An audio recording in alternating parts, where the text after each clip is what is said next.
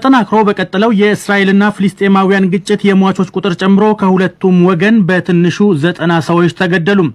ካለፈው ሰኞ ጀምሮ እስራኤል በጋዛ ሰርጥ በከፈተችው የአየር ጥቃት 83 ሰዎች መገደላቸውን የፍልስጤም ጤና ሚኒስቴር አስታውቋል። የእስራኤል ጦር በጋዛ ሰርጥ የሮኬት ማምረቻና ማከማቻ መጋዘንን ጨምሮ 600 የተመረጡ ኢላማዎችን መምታቱን የእስራኤል ጦር ቃል አቀባይ ዮናታን ኮንክሬስ ተናግረዋል።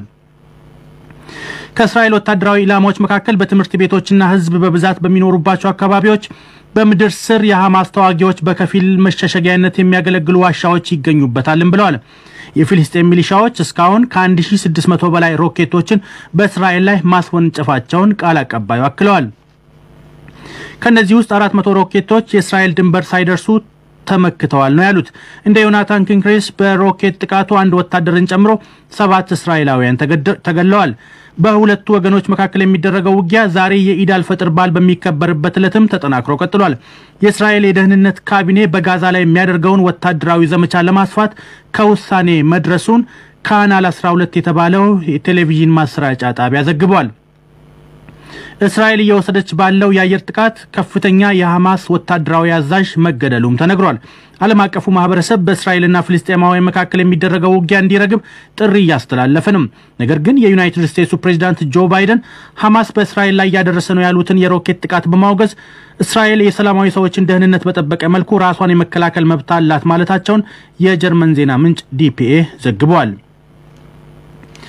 በተያያዘ ዜና የኬንያ ፖሊስ በመዲናይቱ ናይሮቢ እስራኤል የፍልስጤም ግዛት በሆነችው ጋዛ እየወሰደች ያለውን የአየር ጥቃት የሚቃወሙ ከሁለት መቶ በላይ ሰልፈኞችን በአስለቃሽ ጭስ በተነም። ከሰልፈኞቹ በርካቶችን በቁጥጥር ስር ማዋሉም ተነግሯል። ሰልፈኞቹ ተቃውሟቸውን ማሰማት የጀመሩት የኢድ ስነስርዓት ከተጠናቀቀ በኋላ እንደነበር ሮይተርስ የዜና ወኪል ዘግቧል። ለተቃውሞ የተሰባሰቡት ሰልፈኞቹ ኬንያ ከፍልስጤማውያን ጎን ናት፣ ኔልሰን ማንዴላ ፍልስጤም ነጻ ሳትሆን ነጻነታችን ሙሉ አይደለም የሚሉ ይገኙበታል። በተቃውሞ ሰልፉ ላይ ከታደሙት አንዷ የሆነችው ሪያን ሼክ ከፍልስጤም ወንድምና እህቶች ጋር ነኝ፣ ጠዋትና ማታ ስለ እነርሱ ሰላም እማልዳለሁ ብላለች። የሰብአዊ መብት ተከታታዩን ድርጅት ጨምሮ እስራኤል በፍልስጤማውያን ላይ የምታራምደውን በደቡብ አፍሪካ እንደነበረው አይነት የጥቂት ነጮች የበላይነት የነበረው አይነት አፓርታይድ መልክ አለው ያሉትን አገዛዝ ኮንነዋል። ይህ ዶች ቨለ ነው። በደቡብ አፍሪካ ከኮቪድ-19 ጋር በተገናኘ የሟቾች ቁጥር በይፋ ከሚታወቀው በላይ እጅጉን ያሻቀበ መሆኑን አንድ ሪፖርት አመለከተም። በአገሪቱ ከጎርጎርሳውያኑ ግንቦት 2020 ወዲህ ከመጠን በላይ 157 ሺህ ሰዎች ሞት የተመዘገበ ሲሆን ከነዚህ ውስጥ ከ85 በመቶ በላይ የሚሆኑት ከኮሮና ጋር የተያያዘ መሆኑን የደቡብ አፍሪካ የሕክምና ምርምር ምክር ቤት አስታውቋል። በዚህም በደቡብ አፍሪካ ከኮሮና ጋር በተያያዘ የሞቱ ሰዎች ቁጥር ከ133 ሺህ በላይ መሆኑን ጥናቱ አመልክቷል። ይህም የሀገሪቱ የጤና ባለስልጣናት ወረርሽኙ ከተከሰተበት ጊዜ ጀምሮ ይፋ ካደረጉት የሞት መጠን ጋር ሲነጻጸር ከእጥፍ በላይ ልዩነት አሳይቷል። ደቡብ አፍሪካ ምንም እንኳን ከጎርጎርሳውያኑ መጋቢት 2020 ጀምሮ በዓለማችን ጥብቅ እንደሆኑ ከተነገረላቸው የእንቅስቃሴ እገዳዎች አንዱ ነው የተባለለትን እገዳ ብትጥልም ከግንቦት 2020 ጀምሮ በየሳምንቱ ከተዋሲው ጋር በተያያዘ የሚሞቱ ሰዎች ቁጥር እያሻቀበ መምጣቱን ዘገባው ጠቅሷል። ሀገሪቱ ያለፈውን አንድ ዓመት ከ100 ሺህ ሰዎች 258 ሰዎች ከመጠን በላይ ሞት ተመዝግቦባታል። የደቡብ አፍሪካ የጤና ሚኒስቴር ግን በቀረበው የጥናት ውጤት ላይ የሰጠው አስተያየት እንደሌለ ዘገባው አክሏል። ህንድ ከፊታችን ባሉ የነሐሴና ታህሳስ ወራት መካከል ሁለት ቢሊዮን የኮቪድ-19 መከላከያ ክትባቶችን ዝግጁ እንደምታደርግ አስታወቀች። አንድ የሀገሪቱ መንግስት ከፍተኛ አማካሪ እንዳሉት ህንድ ክትባቶችን ዝግጁ የምታደርገው በተለያዩ የክትባት አምራች ኩባንያዎቹ አማካኝነት ነው። በዚህም የህንዱ ሴረም ኢንስቲትዩት የሚያመርተው የአስትራዜኔካ ክትባት 750 ሚሊዮን ብልቃጥ፣ ባህራት ባዮቴክ የሚያመርተው ኮቫክሲን 550 ሚሊዮን ብልቃጥ ክትባቶች በተጠቀሱ ጊዜያቶች ዝግጁ ከሚሆኑት ውስጥ ተጠቃሾች መሆናቸውን ሮይተርስ ዘግቧል። በሌላ ዜና ደግሞ የኮሮና ወረርሽኝ ዳግም አገርሽቶ ብርቱ ጉዳት እያደረሰባት ባለው ህንድ በርካታ ግዛቶቿ የኮቪድ-19 መከላከያ ከፍተኛ መከላከያ ክትባት እጥረት እንደገጠማቸው አስታውቀዋል። ይህንኑ ተከትሎም በህንድ የህዝብ ብዛቷ ቀዳሚ የሆነችው ግዛት ከፋይዘርና የሩሲያ ስፑትኒክ ቪ ክትባት አምራቾች ጋር እስከ 1.36 ቢሊዮን ዶላር የክትባት አቅርቦት የውል ስምምነት ለመግባት መገደዳቸውን የአካባቢው ባለስልጣናት አስታውቀዋል። ከብራዚል የበለጠ የህዝብ ቁጥር እንዳላት በሚነገርላት ኡታር ፕራዴስ የወሰደችው ክትባት የመግዛት እርምጃ በተመሳሳይ ሁኔታ ለተጠቁት ሌሎች ግዛቶችም መንገድ የሚከፍት ነው ተብሎለታል። የህንድ ሆስፒታሎች በኮሮና የታመሙ ሰዎችን የመቀበል አቅማቸው በመሟጠጡና የጤና ስርዓቱም ለውድቀት መዳረጉም ተገልጿል። ከኮሮና ጋር በተገናኘ በህንድ ከአራት ሺህ በላይ ሰዎች ህይወታቸውን ማጣታቸው ለሁለተኛ ቀን ተመዝግቧል። በዓለም ዙሪያ ለአካባቢ አደጋ በጣም ተጋላጭ ከሆኑ አንድ መቶ ከተሞች ውስጥ ሁሉም ከአንዱ በቀር እስያ ውስጥ ሲሆኑ አራት አምስተኛው ደግሞ በህንድ ወይም በቻይና እንደሚገኙ ዛሬ ሐሙስ ታትሞ የወጣ አንድ ጽሑፍ አመለከተም። በዓለማችን ለአካባቢ አደጋ እጅጉን ተጋላጭ ከሆኑ አንድ መቶ ከተሞች ውስጥ ከአንዱ በስተቀር ሁሉም ኤስያ ውስጥ የሚገኙ መሆኑን በከተሞች የአደጋ ተጋላጭነት ላይ የሚያተኩርና ዛሬ ታትሞ የወጣ ጥናት ጠቁሟል። ጥናቱ እንዳለው ኤስያ ውስጥ ለአደጋ እጅጉን የተጋለጡ ናቸው ከተባሉ 99 ከተሞች ውስጥ አራት አምስተኛው በቻይናና ህንድ እንደሚገኙ አስነብቧል። በመላው ዓለም በአጠቃላይ ከ1.5 ቢሊዮን በላይ የህዝብ ብዛት ያላቸው ከ400 በላይ ትልልቅ ከተሞች በሚገጥማቸው አካባቢያዊ ብክለቶች፣ የውሃ አቅርቦት መቀነስ፣ ገዳይ የሆኑ የሙቀት ክስተት፣ የተፈጥሮ አደጋዎችና የአየር ንብረት ለውጥ ምክንያት የአደጋ ተጋላጭነታቸው መጠን ከፍተኛ መሆኑን የጥናቱ ግኝት እንደሚያመለክት የፈረንሳይ ዜና ምንጭ ዘግቧል። በአየር ብክለት ጎርፍና የሙቀት ወጀብ የምትሰቃየውና በመስጠም ላይ የምትገኘው ግዙፏ የጃካርታ ከተማ ከከተሞቹ በቀዳሚነት ተቀምጣለች።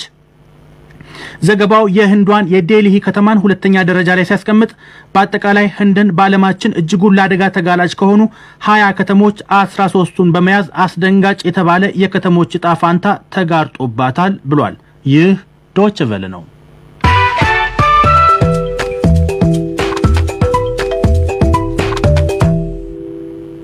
አድማጮች ዜናውን ለማብቃት ርዕሶቹን አንድ አፍታ ላስታውሳችሁም። በመላው ዓለም የሚገኙ የእስልምና እምነት ተከታዮች 1442ኛውን የኢድ አልፈጥር በዓል አከበሩም። በደቡብ አፍሪካ ከኮቪድ-19 ጋር በተገናኘ የሟቾች ቁጥር በይፋ ከሚታወቀው በላይ እጅጉን ያሻቀበ መሆኑን አንድ ሪፖርት አመለከተም። ተጠናክሮ በቀጠለው የእስራኤልና ፍልስጤማውያን ግጭት የሟቾች ቁጥር ጨምሮ ከሁለቱም ወገን በትንሹ ዘጠና ሰዎች ተገደሉም። በዓለም ዙሪያ ለአካባቢ አደጋ በጣም ተጋላጭ ከሆኑ አንድ መቶ ከተሞች ውስጥ ከአንዱ በስተቀር ዘጠና ዘጠኙ በኢሲያ ውስጥ የሚገኙ ሲሆን ከአምስቱ አራቱ ደግሞ በህንድ ወይም በቻይና እንደሚገኙ ዛሬ ሐሙስ ታትሞ የወጣ አንድ ጥናት አመለከተ። ዜናው በዚሁ አበቃ። ታምራት ዲንሳንን ለምሽቱ የዓለም ዜና ቅንብር አመሰግናለሁ። በመከታተል ላይ ያላችሁት ዶቸ በልን ነው። የዜና መጽሔት